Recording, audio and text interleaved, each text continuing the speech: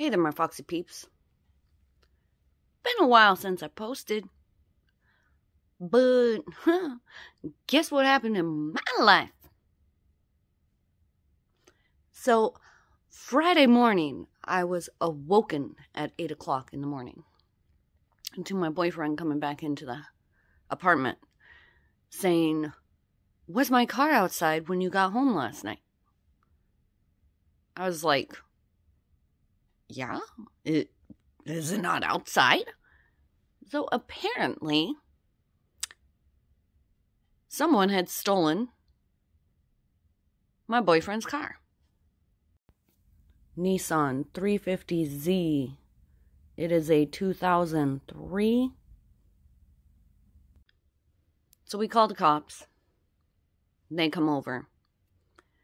And luckily, our neighbor across the street has a surveillance camera. So it was caught at around 4:45 in the morning. Someone being dropped off and taking the car. Well, the neighbor across the hall also has a surveillance camera.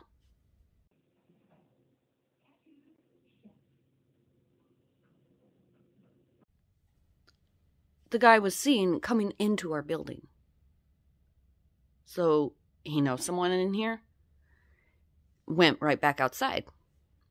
And on the footage, you can't see the two cars parked off to the side, but he was checking every vehicle except for one. The one that lives below me. They never checked her vehicle for an unlocked door. They checked my car. How dare they touch the Foxy Mobile? And then checked his car.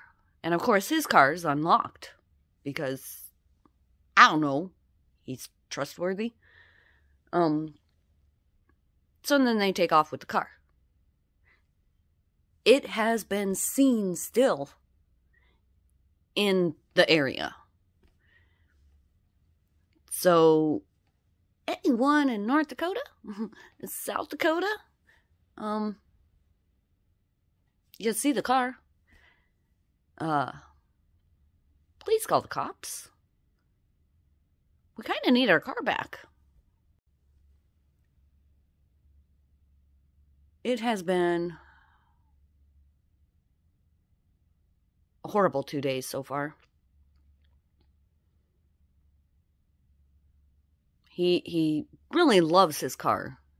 It was a fixer upper to begin with, and he has worked really really hard. Like trust me, that car did not look that good when he got it.